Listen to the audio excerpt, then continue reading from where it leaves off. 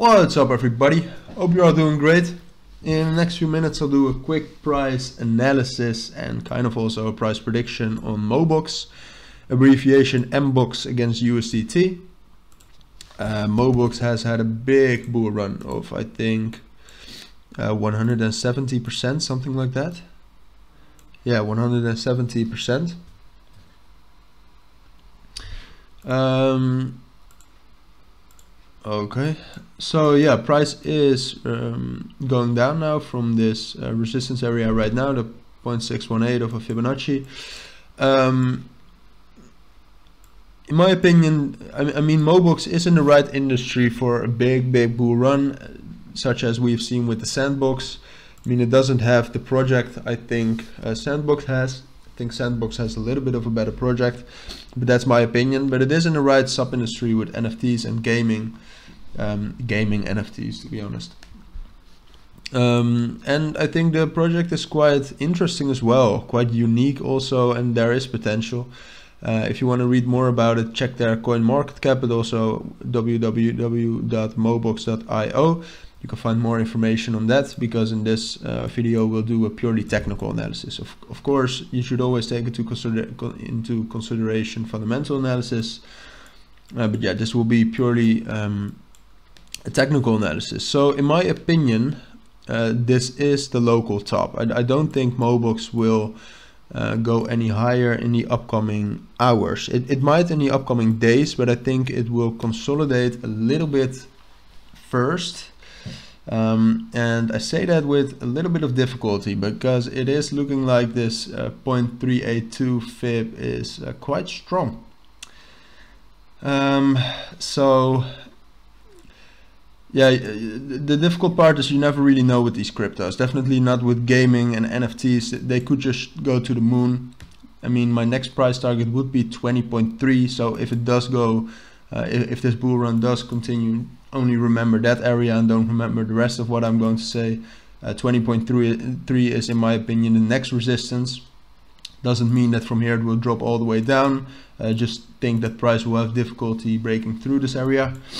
Um, and yeah, but in my opinion, the most realistic case scenario is that we will see some consolidation.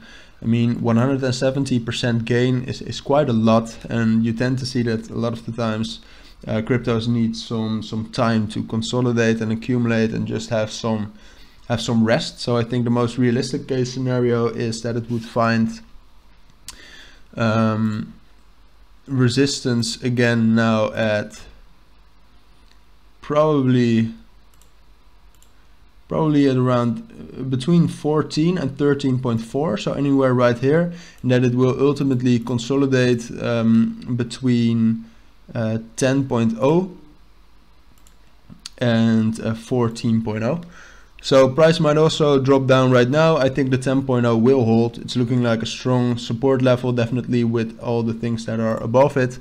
10.0 is also a psychological support level, a very strong one. So I think the most realistic case scenario is that we will see some consolidation between 14 and 10.0. Um, and then ultimately that consolidation might take a couple of days, like three to four, or it might take uh, one and a half weeks to two weeks. I think three to seven days is the most realistic scenario in this current market we're in. Um, and I just want to notify you that at the end of that consolidation price might drop down a little bit lower than the consolidation, so maybe to 9.5 or 9, 9.0. Um, just to get whales, they use all sort of tactics to, to get into it lower. I could do some more explanation on that, but um, just keep that in mind that that's not necessarily bearish because I do think that, that this doesn't necessarily have to happen this this last move to 9.3 or 9.0 um, but I do think that if that happens we will probably see a big uptrend or a big bull move um, which you will probably recognize if the price will break above the 14.15 probably something like this will happen and then as I said Next price target is around 20, 20.3 um, more precisely.